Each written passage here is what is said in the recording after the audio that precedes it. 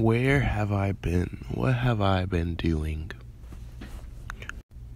Well, I had to get back into Apex.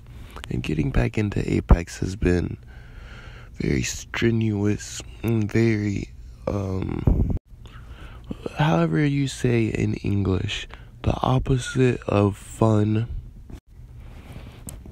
I know I made a whole lot of videos in my time shitting on Apex, but this is, um, this time it's actually different.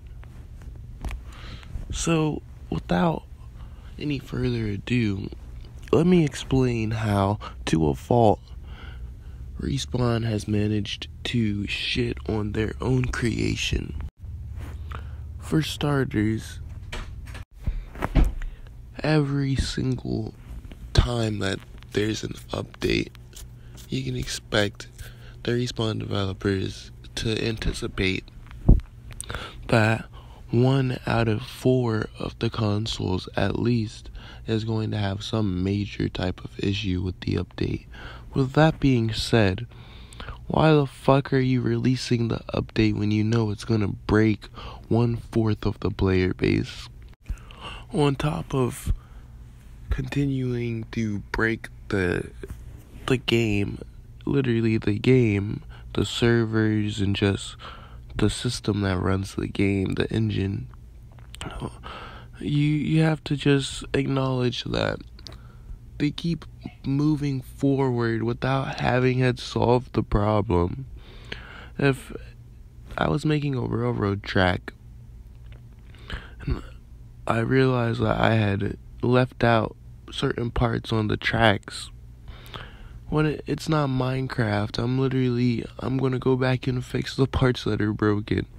But no, respawn they they don't care if the train gets derailed. They literally do not care.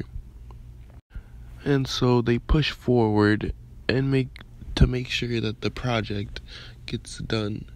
But in reality, they're giving us a fucking rickety train that if you get on, it's bound you're bound to die. Your your train's getting derailed. The amount of patches and fixes that they've released this season alone trying to fix the game, this is low key as bad as the worst seasons and or worse than the worst seasons because at the bare minimum there's been 3 patches already and none of them worked. Now, moving on to the to the next part. This is more just talking about how stupid respawn is and how counterintuitive they are. Now, we've all had our fair share of good ranked matches, but even more so, we've all had our fair share of absolute dog shit ranked matches. For example, top 5 both teammates dead. 2000 damage, no kills, top 5, plus 15 RP. You, you just spent fucking 22 minutes in a match, did 2000 damage, and you came out with fucking plus 15 RP. Now, I don't know about you guys, but that type of ranked game makes me mad. I would have rather just died off fucking rip. I'm sorry. Beyond my personal experience, what's with losing 430 RP? Why is it that the ranked system can't be a solid in between? If you know what I'm talking about, then good, but if you don't, let me explain. The ranked system in Apex Legends has changed so much. It's always been catered towards casuals and then the pros say something and then they cater towards pros and then they cater towards casuals. Like literally I'm pretty sure every two seasons has like its own version of ranked. And the worst part about it is that they don't find a happy median. It's like they take it from one extreme to the next extreme. There's absolutely no happy median. You see, The last ranked system was so that you could was basically for casuals so that they could solo queue. They could get KP, just uh, stack up KP to the max and and move forward. They didn't have to worry about much, but now it's catered the complete opposite. And you're likely only gonna finish the game with low KP, and they want you to prioritize placement. I really hate Apex Legends, but Apex Legends ranked is way worse. And then on the community's behalf, because not everything can just be Respawn's fault, we hold ranked in way too high of a regard. Like, right now, there's literally less than 750 predators across all platforms. There's less than 600. Yesterday, there were only 29 Predators on Xbox. There's literally like fucking 7 Predators on Switch, or like 5. It's so ridiculous.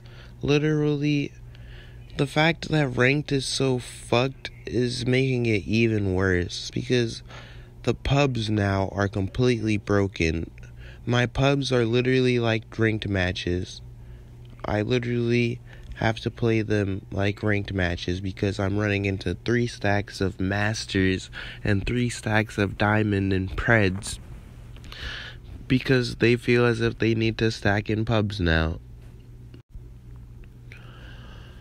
Now, like I was saying, it's partially the community's fault because we hold ranked in such a high regard that the developers prioritize it like how they are. Imagine a world in which we understood that ranked was not a good show of skill. Like, imagine a world where the average person wasn't unintelligent. Most people will tell you that ranked defines skill, and ranked is a uh, arena for the best of the best players. Most people would say that simply because the system of gaining KP and gaining RP. But to me, it's ridiculous, and you need to look at more factors than just the system in which ranked operates around to determine skill. If ranked determined skill, then anyone who can just pick up two teammates and play with them for seven hours is, is a good player. It's ridiculous to believe that ranked is a good showcase of skill because literally you're team fighting, you're not prioritizing fighting. It's like what how how does this remotely seem like a a bout of skill. If anything, you're literally consciously camping. You're consciously making a decision not to engage in fights. then, like, just people take that and it's like they run with it and they say that ranked is a good place to test your skill, but it's really just not. Now, I think I've done a good enough job explaining that. But beyond that, I would just like to point out some more contradictions, direct contradictions in the Respawn development team um, that are kind of halting Apex moving forward. You see, every season they add a new character. That's cool, okay.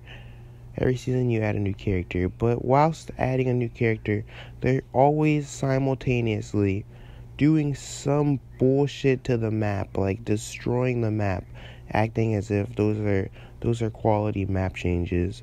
It's like destroy, build, destroy, except they only destroy. They never build, they just destroy. Take Kings Canyon for example. How is it a map change to just completely remove a large percentage of the fucking map? Especially the most popular place that people were going. Like, there's no doubt Skulltown was the most popular place. And I understand that they were, they did it intentionally. But, like, after seeing how stupid, like, and then not even replacing it with anything. They did not replace Skulltown with anything. And don't tell me that that little location by market is is what replaced it because that's literally like one two three five buildings it's actually five fucking buildings with map changes you have to just take them with a grain of salt with all of this being said, I beg the question who's better, me or Aceu? I'm pretty sure I'm better than Aceu. I mean, one, he's avoiding 1v1ing me for about a year and a half now, without a doubt. Like before, okay, maybe he just didn't notice, but now he's definitely noticed. He's doing what Otter did. Just denying, denying, denying. Um, if you want to know more about that, watch the video that says something about like this content creator rejected my 1v1 request something along those lines. I got screenshots of the conversation where Otter straight up rejects my 1v1 request and also lies to me because he is a fool. Peace out. Leave a like and subscribe. Please support my VTube channel. The end.